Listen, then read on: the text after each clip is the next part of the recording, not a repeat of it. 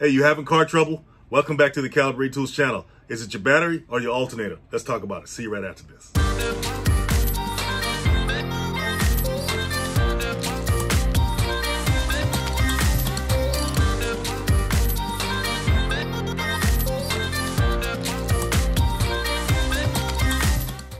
Yes, it is possible to drive with a bad battery or a bad alternator, but as many of you know, you're not going to get that far. If you got a bad battery and you shut the car off, next time you jump into the car, guess what? It won't start. But if you have a good battery and a bad alternator, that alternator is going to drain that battery, causing your car to stall at the most unpredictable times, aka in rush hour traffic on the freeway. I'm going to show you guys what to look for in this video, but don't hesitate to go to the nearest shop if you're nervous about doing this or you got no experience. All right, so your car's not starting. Is it a bad battery or is it a bad alternator? Well, with a bad battery, you can tell certain signs, right? Like your dashboard lights may start getting dim or the lights, you know, the interior lights may start dimming out on you. If you got electric windows, they may start going up or down real slow.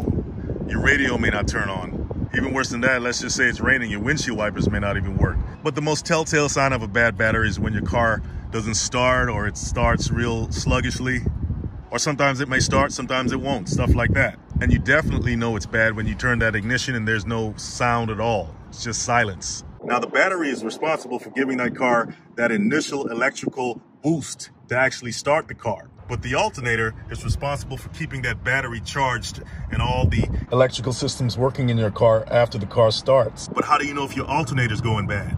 Well, there's a few reasons. Some of them overlap with the battery issues. Like, you know, if you have trouble starting the car, the interior exterior lights can start to dim on you just like with a bad battery. But some of the issues that are unique to a bad alternator is when your car keeps stalling on you or you hear a squealing sound coming from the engine every time you turn on the heat. That can indicate that the bearings in the alternator are going bad. Or let's just say you got a jump and the car starts and then it shuts right off after that. Another reason your alternator can be going bad is that the stator winding is burnt out, right? If you guys can see those wires right there, those copper looking wires, that's the stator winding. If you guys know anything about motors and electricity, it's just a bunch of wires wound up in a certain way to produce an electrical charge. The alternator stator wiring can get burnt out. How? Well, let's just say you wash the engine, right? The water can destroy the insulation on the wiring, what they call the insulation varnish. Or if you drive through a really deep puddle, like we sometimes do in a storm, that alternator can get soaked with water. It can be submerged in water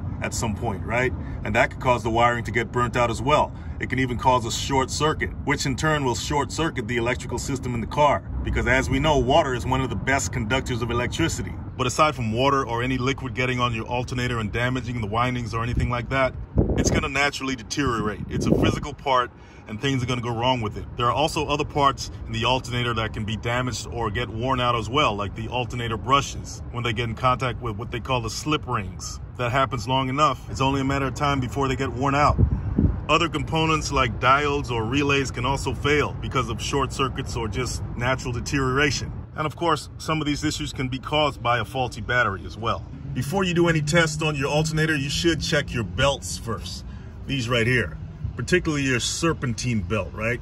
Press on it a little bit, see if it's firm, right? Because if it's loose, that can cause the alternator not to charge properly. So you want to check your belts first, right? Make sure that they're nice and firm. And if they're loose, make sure you tighten them before you test your alternator. Okay, so we're gonna test the alternator to see if it's okay, but we're gonna need a voltmeter or a multimeter. We're gonna make sure the car engine is off for this first test. First thing we wanna do is set it to 20 volts DC, okay? The voltage on your battery is not gonna exceed 20 volts, right? So that's why we set it at 20 volts. We set it on the volts DC portion of the dial because it's only direct current coming out of that battery, DC current. So we got everything set there. Then we're gonna take the red lead and put it on the positive terminal of the battery, and we're gonna take the black lead and put it on the negative terminal of the battery.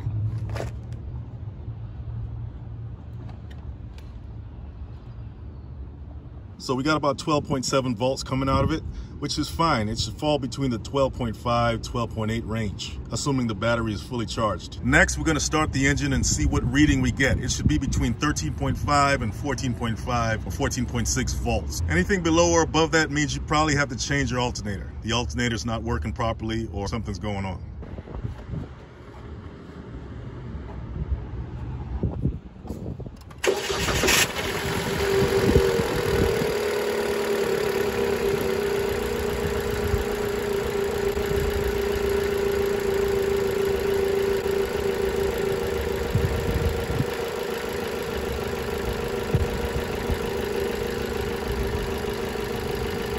Okay, so we got about 13.9 volts, which means the alternator is doing its job. Everything's looking good in that department. Okay, so now we're gonna put a load on the alternator. We're gonna test it out, do a little stress test on it. We're gonna turn the lights on, we're gonna turn the heat on, we're gonna turn the radio on, whatever you can.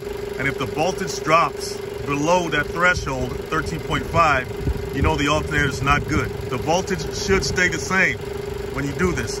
So let's go ahead and do that.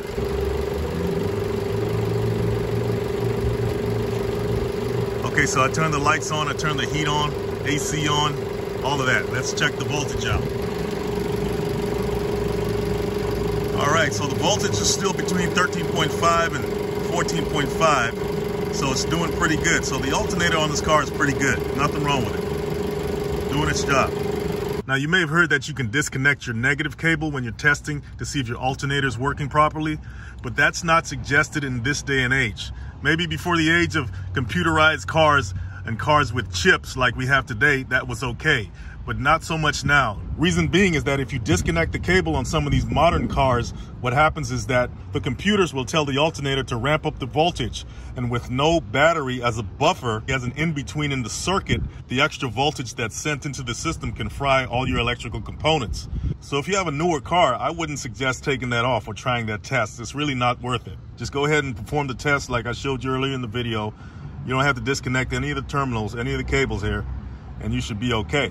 Now, one of the easiest tests to perform is with your ears. That means listening to your engine, right? For any irregularities in sound, that's going to indicate something's going on, something needs to be looked into a trick that I read about. I never used it, but it sounds like a pretty good method of testing for strange noises in your engine is to take a three foot long piece of a rubber hose. So if you got an old hose laying around, cut a three foot long piece out of it, take that piece, take it over to your car engine while the car's running and put one end to your ear and the other end place it on the alternator. And if there's a strange rattling noise coming from the alternator, it could indicate that you have some bad bearings in your alternator. It's worth a try, right? Go grab a multimeter. You can get them online for four bucks to 20 bucks. You don't have to get a really expensive one with all the bells and whistles. Just get a basic one that'll give you the readings and you can keep in your glove compartment or your roadside ready kit. Check the links in the description. So guys, if you enjoyed the video, you learned something from it, don't forget to like, subscribe, and share because all of that helps to push this content out into the universe. See you guys in the next one.